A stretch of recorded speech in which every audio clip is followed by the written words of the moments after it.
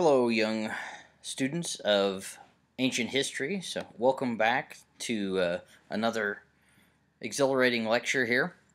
And last time we had looked at the ancient Egyptian civilization, and today we're going to move into all of Asia. That we are going to uh, move out of the ancient Near East region and Egypt, and we're going to move to the other two uh, great civilizations of, uh, of Asia, of the ancient world, which is here in, uh, in India, present day India, as well as in eastern uh, China. And we will also be examining here the, uh, the great steppe cultures, or very, very uh, Uh, quickly looking at some of the, the great steppe cultures of uh, northern Asia here and how these all tied in together. So just a, a uh, quick review here, we have, have looked at the, the most ancient of civilizations in Mesopotamia.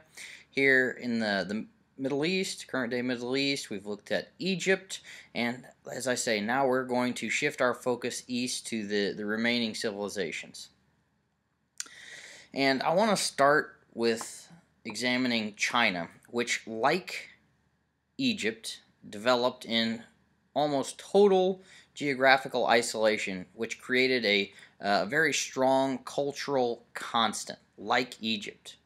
Um, you don't see a lot of invasion. You see a lot of continuation within their spirituality, within their thought, and uh, they are protected by the uh, the great forests of uh, Manchuria here in uh, in the south and the the west. They are protected um, almost totally by uh, the the ocean on their east and the only real point of entry into China here is this great loop around the uh, the Yellow River and this is where the barbarians as they define them as the Chinese civilization defines them which are the uh, the, the uh, steppe people who descend out of Mongolia out of the north into uh, China into the civilized regions and here in the north here where the the uh, Yellow River is you see it's a it's a really flat area, drier area, um, where wheat is cultivated.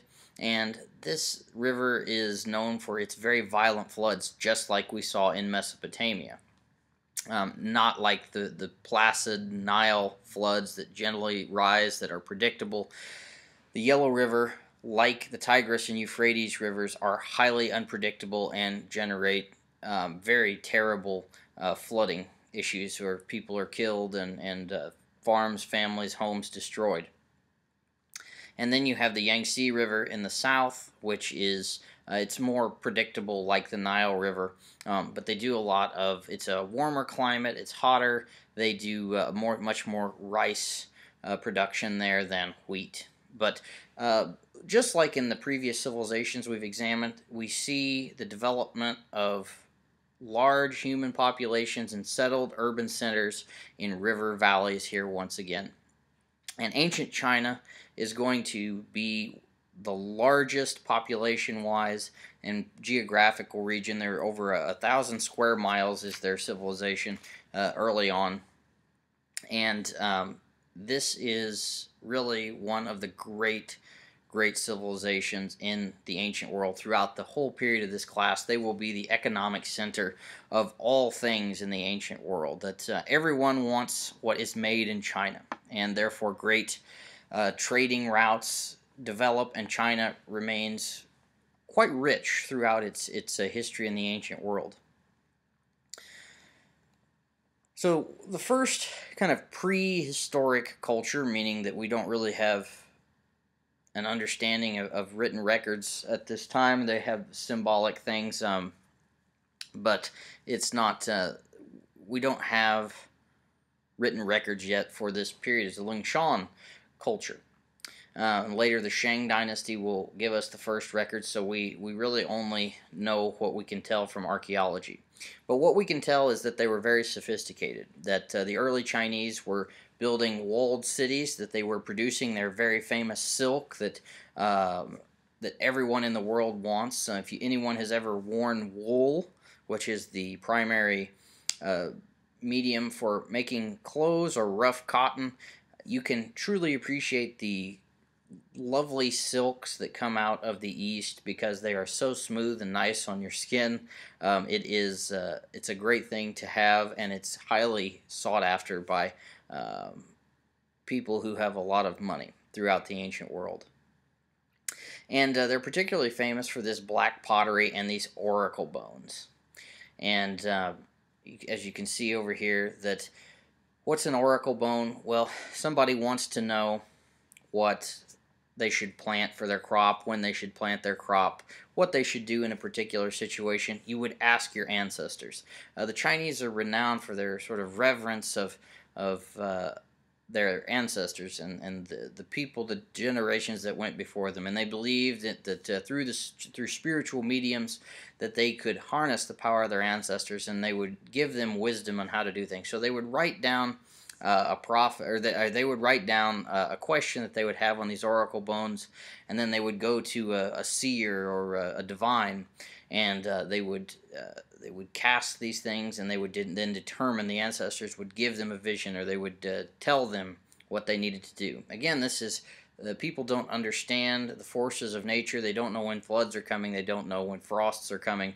Uh, they don't have an understanding of, of science or or nature in, in a really systematic way like we would.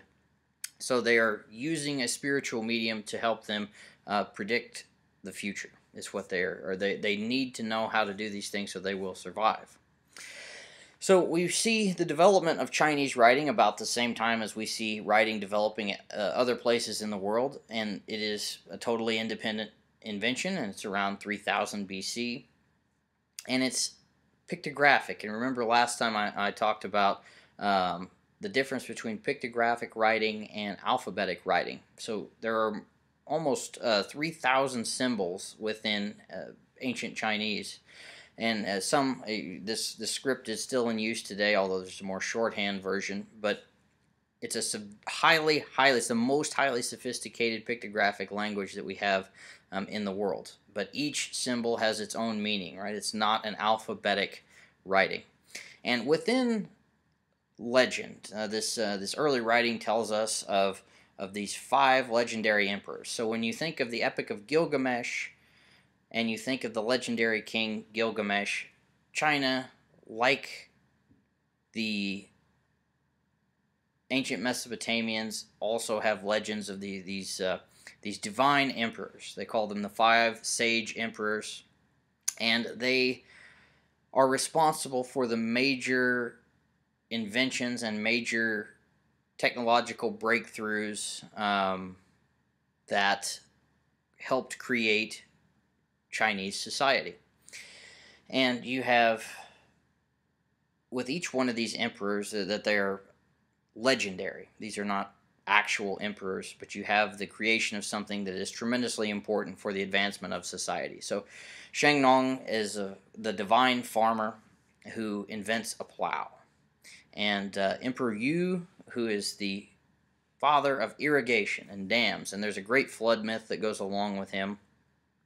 And then you have Fuxi with the domestication of animals, um, Emperor Yao with the uh, with reverence to the gods and new rituals, and Huang Di, who invents writing, silk making, and of course the bow. So these are again all very important inventions and things that advance Chinese civilizations. And going back to the flood myth, just like with Gilgamesh, we see another society with another flood myth here. Um, all of these things relate back to agriculture and the settlement of, of human civilization in river valleys. And here's a, a quote from the right one of the writings uh, about uh, Emperor Yu.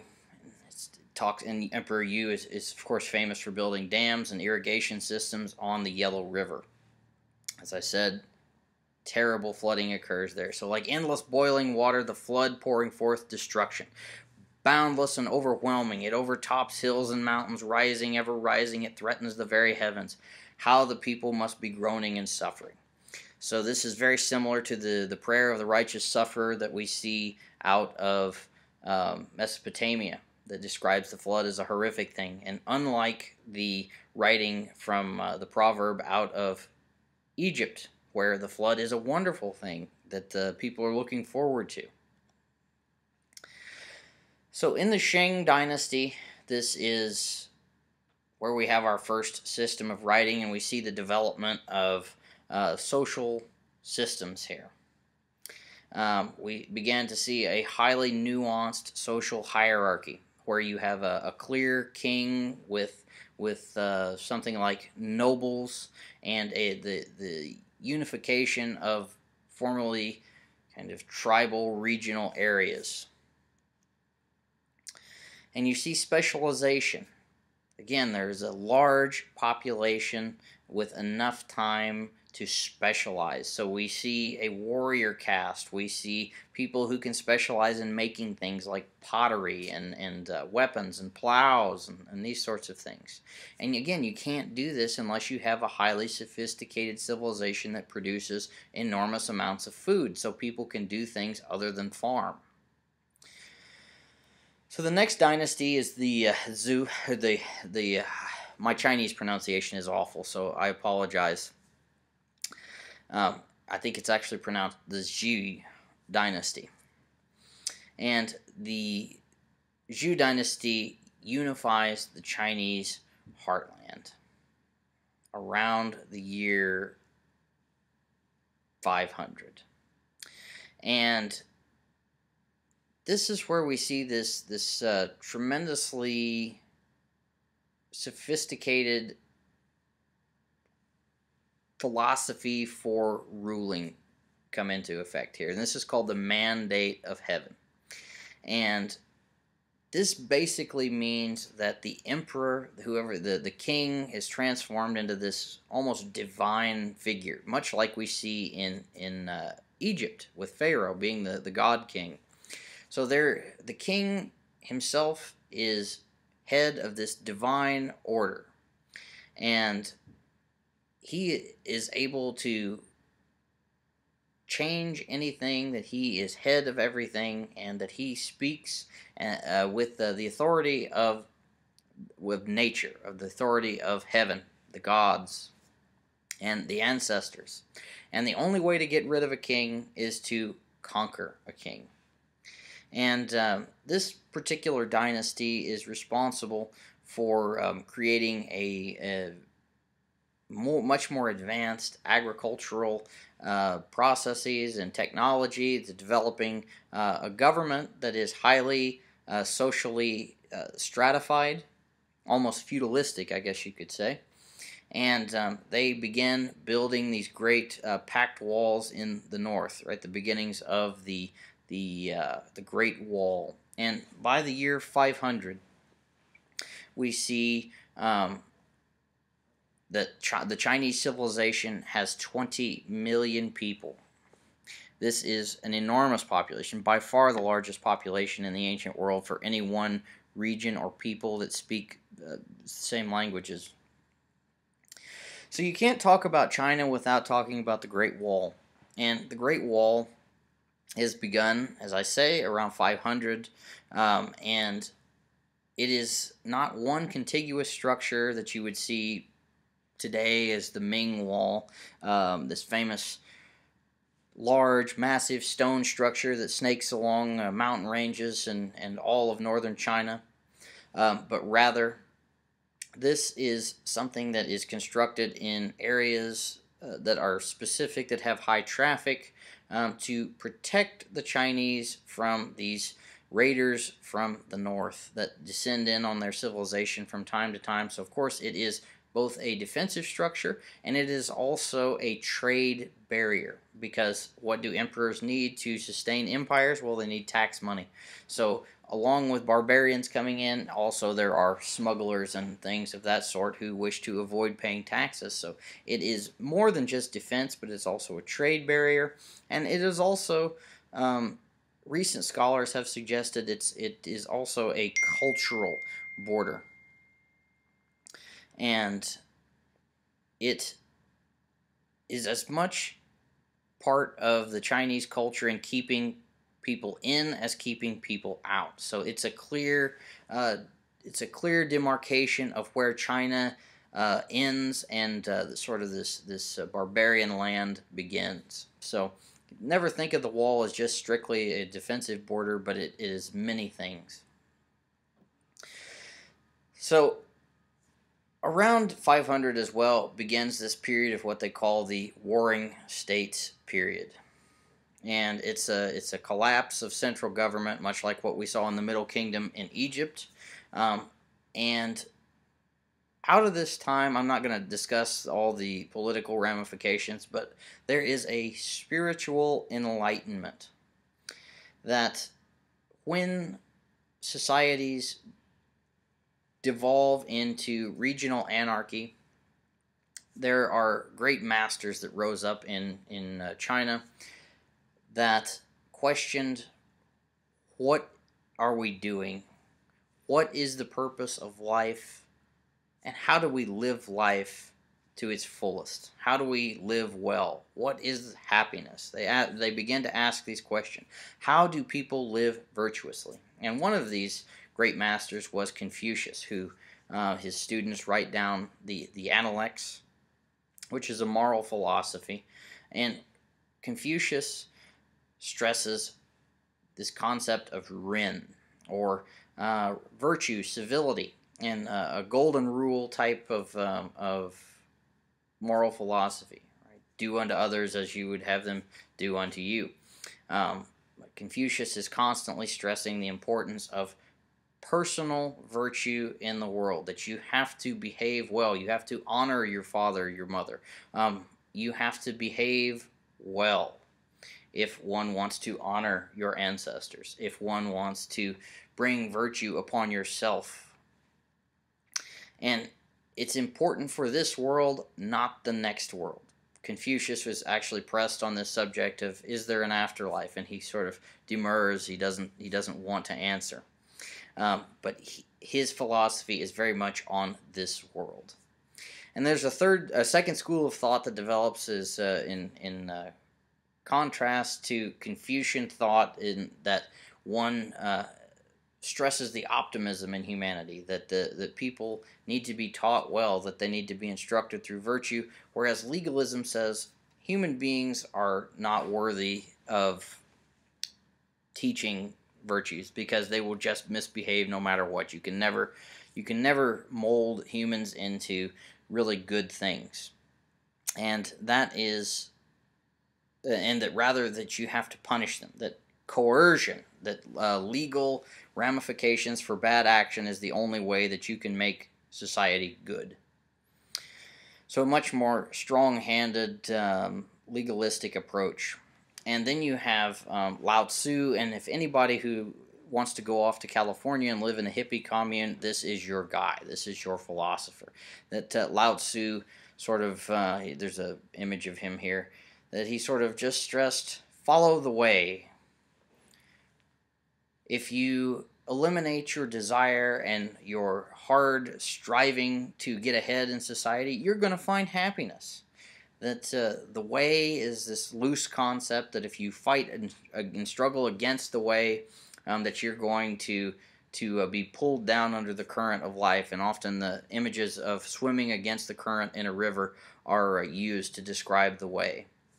So if you eliminate desire, if you eliminate striving, um, you are going to find happiness. And Lao Tzu famously just rides off into the woods uh, on a water buffalo, and he's never seen again by his disciples. So he uh, he's your guy if you are, are uh, kind of a commune type person.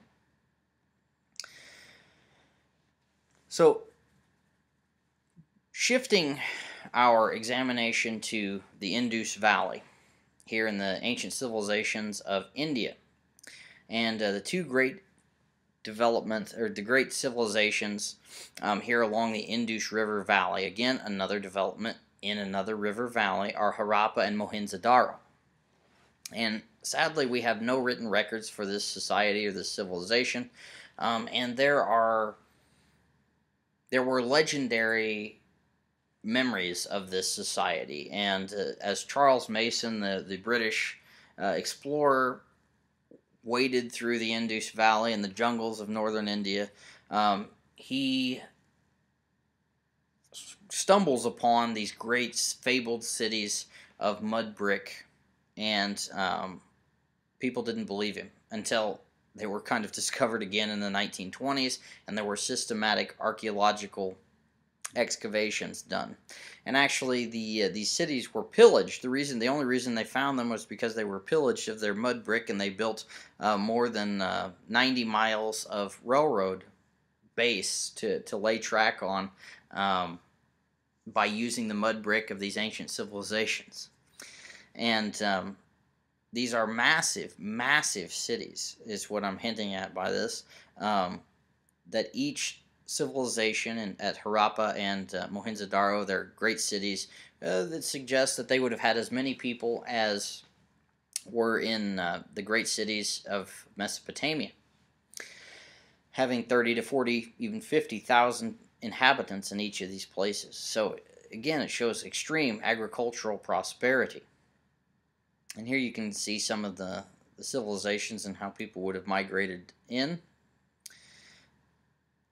And we believe that within these societies, in um, that the both the Ganges uh, River as well as the Indus River had very highly sacred qualities. That, like everywhere, agriculture is key. So uh, people worshipped water. That it was revered as being sacred, having animistic qualities. So Harappa and Mohenjo-Daro, these great cities, here you can see them, and this is uh, sort of laid out, and there's a massive public bath here that, um, uh, and there's no real temples of gods or anything of that nature. There's no priests, there's no images of kings. Um, so we may th we think that this society may have been matriarchal in its origin. There's not a warrior caste. There's not a, a priestly caste that we see everywhere else that is developing in the world that we know was patriarchal, meaning that men ruled the society. So we there's a, a theory, and this is just a theory, that actually the Indus Valley civilizations were matriarchal societies. And they are, again, highly sophisticated societies.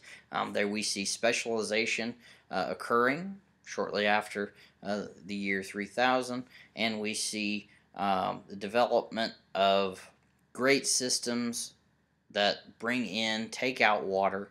Um, there is systematic city planning and standardization. So again, all of this suggests high amounts of sophistication. No written language. Like early Chinese culture, um, we have to go on only what we see as uh, from archaeology alone. And but you see enormous amount of sophistication. You see uh, highly developed artwork. You see um, great systems of mathematics for city planning. So, what happens to this great civilization in uh, Harappa and Mohenjo-Daro? Well, they are subjected to uh, exterior forces. That we see invasions from these people that are originally called the Aryans, um, and not to be mistaken with um, the Aryan theories of Adolf Hitler in Germany, but these are the original Aryan peoples that migrate out of the Asian steppes, um, that they are much more uh, warlike than the civilizations of the Indus Valley and therefore they are able to conquer eventually the civilizations in this river valley. So when when the Aryans descend and conquer, um, they impose their culture upon the earlier society. So we see a much more patriarchal culture, um, and we see this uh, this movement towards uh, a more nomadic pastoralism from the settled urban agriculture. So you don't have the massive, huge cities. Um, they are abandoned in some cases. And we see the implementation of this new Indo European language um, that is Sanskrit. That almost all languages within uh, India, within Europe, are part of this Indo European language culture. Um, and Sanskrit is among them. And we have to question always whether this is a migration or it is an invasion. And we see definite elements that there is an imposition of this culture, so it may suggest it's partially a migration, but certainly there are invasion and uh, and takeover elements within this this movement of peoples. And we see a transformation of this religious culture from this sort of pantheistic or nature worship to uh, new gods being development. So there's a radical new cultural, religious, spiritual shift here. Remember, going from the the animistic river to the uh, to the anthropomorphic gods. And this is really the birth of Hinduism and the, the Vedas, or the sacred text. Uh, we have this written language, and the earliest writings are within these Vedas from the Aryan peoples. And there are the, the Vedas are the sort of Bible of Hinduism, and they are four texts. And you have the Rig Veda, which is the, the oldest, and this is sort of an expounding of, vism, uh, of wisdom. You have the Mahabharata, which is epic poetry, the, the, the songs and, and uh, poems of the conquest of the land, the Ramayana, which again is a similar thing.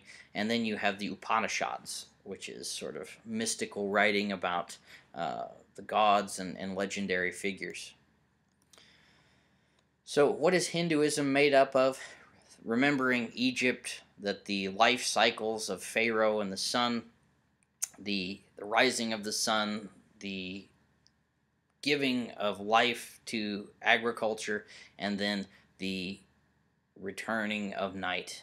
So, this life cycle of, of birth, life, and afterlife, right? The, the death, comes after life. Here in the Hindu pantheon, you see something similar. So you see Brahma, creation, Vishnu, the sustainer, the creator, the sustainer, and Shiva, the destroyer.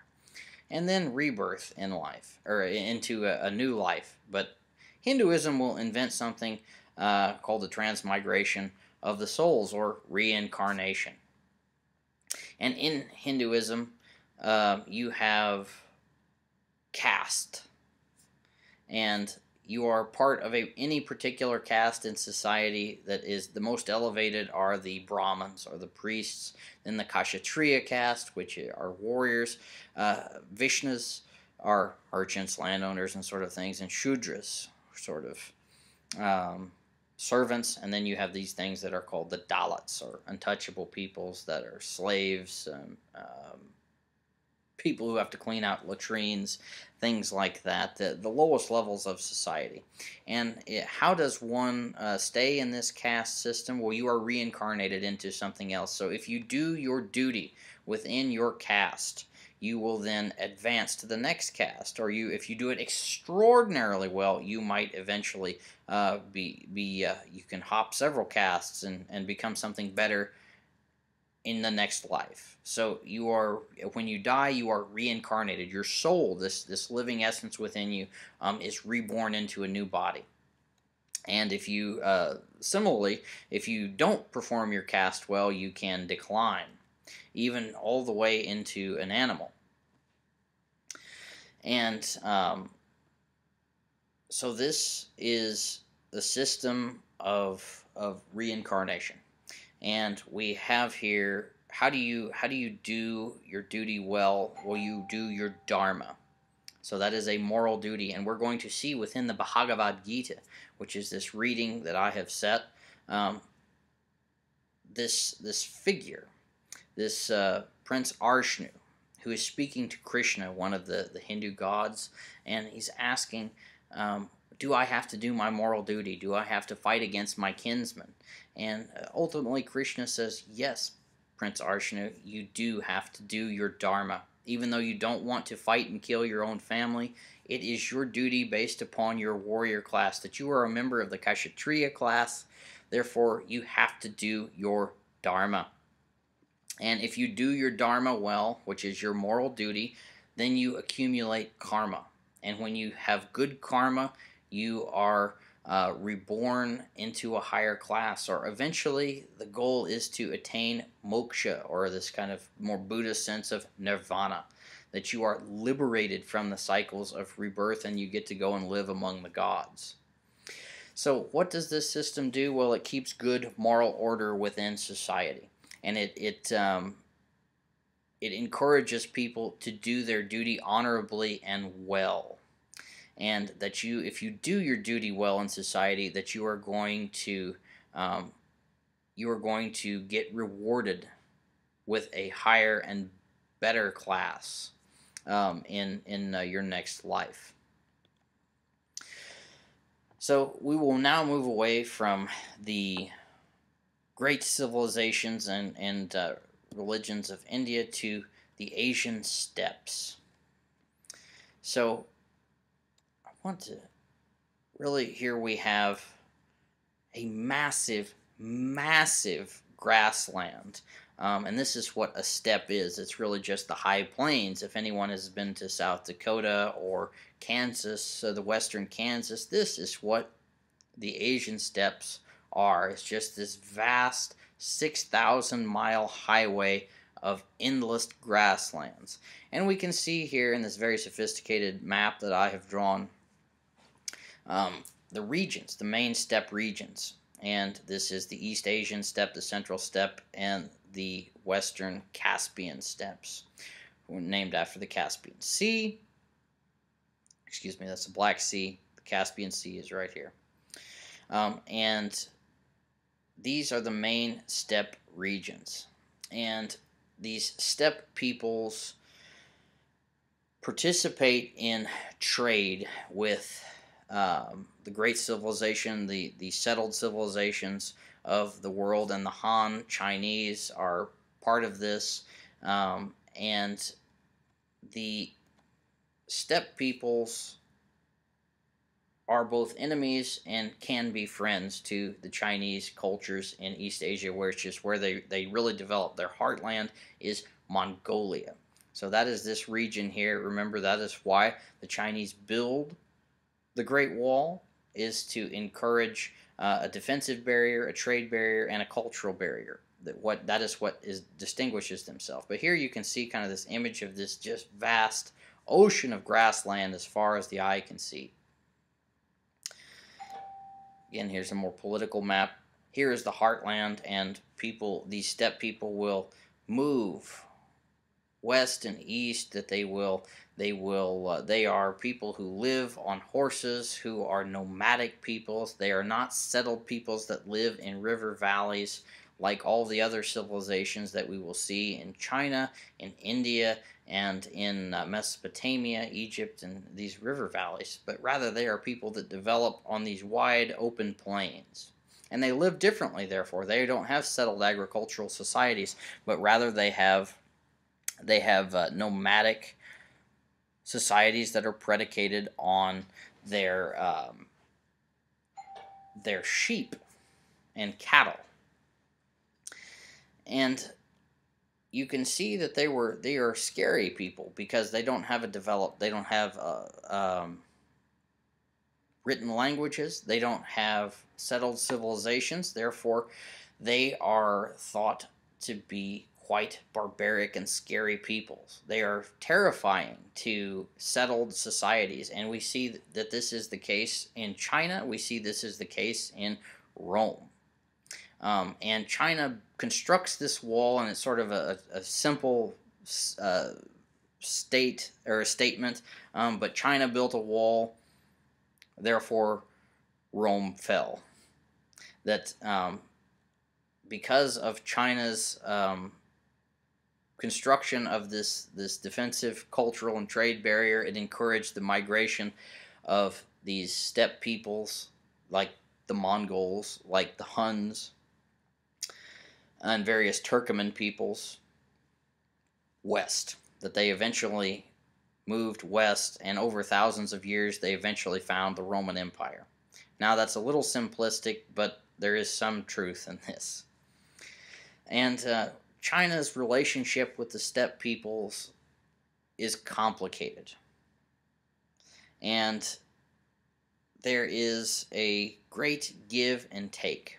And very wise Chinese emperors and generals said you do not fight the barbarians directly because they are extremely good warriors, but rather you employ them to fight other barbarians, that you use them to trade with.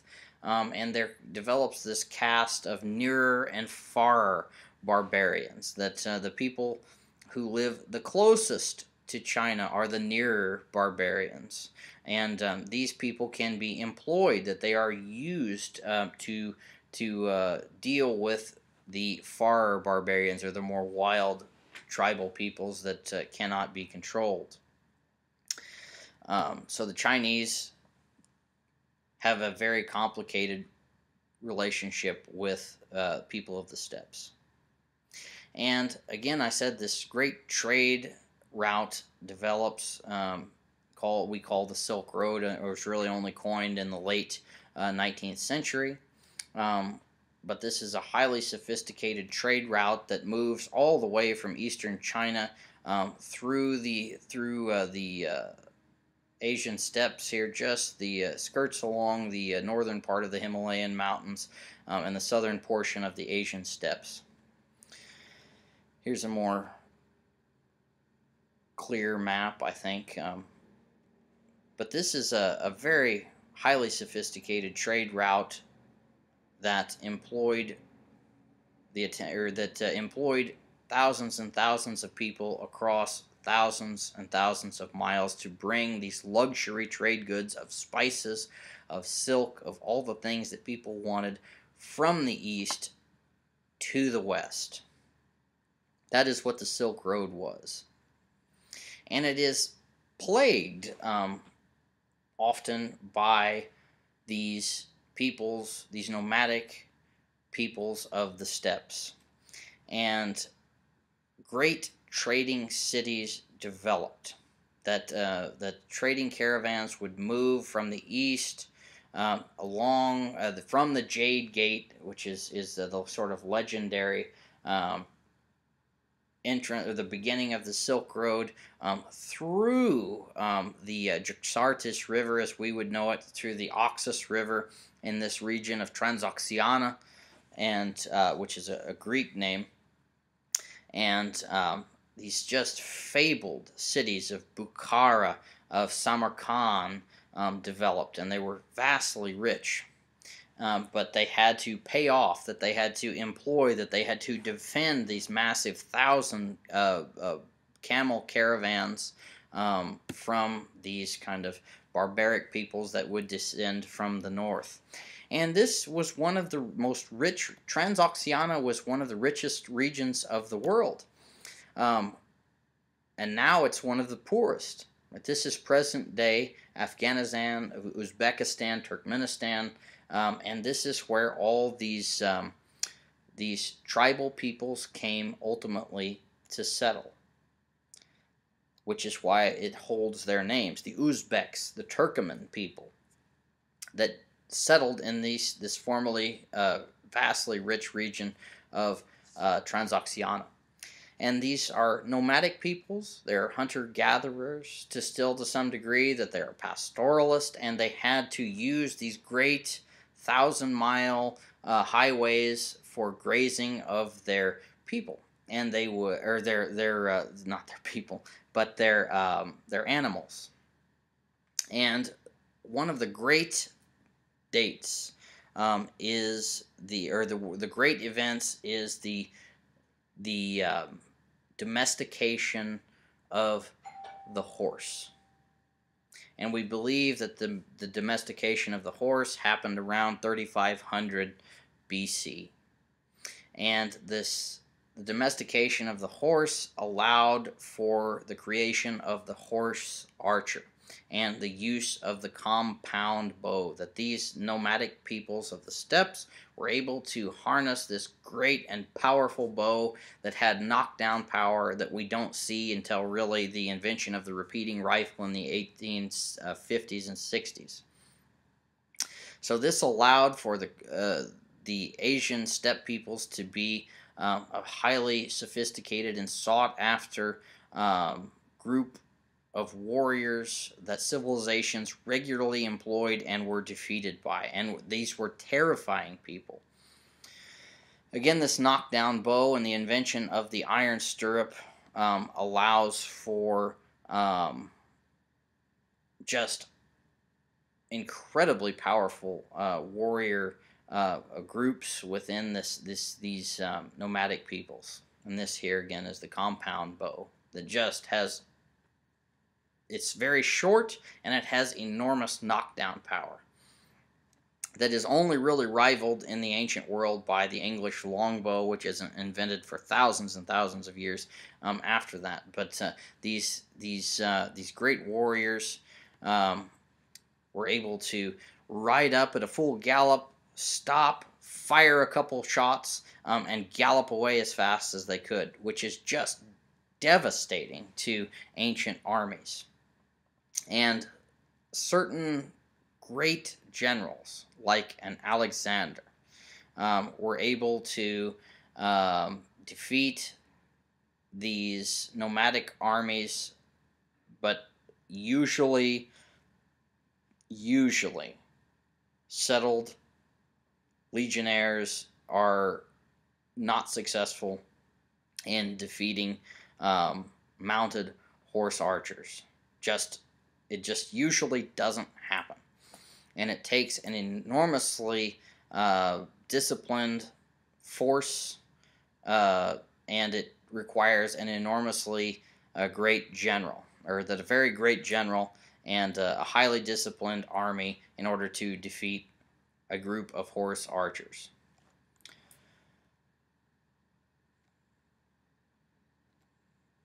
So, as I said earlier, China built a wall, therefore, eventually Rome falls. And these groups of Turkoman nomadic peoples come out of their heartlands in um, in Mongolia, and they migrate across the Asian steppes back and forth along with weather patterns.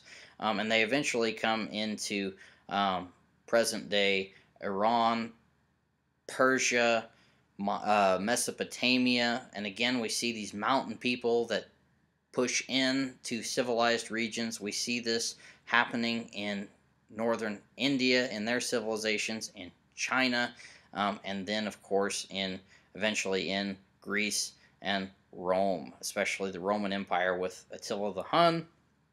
So this will be a constant theme of nomadic peoples pushing into civilized areas.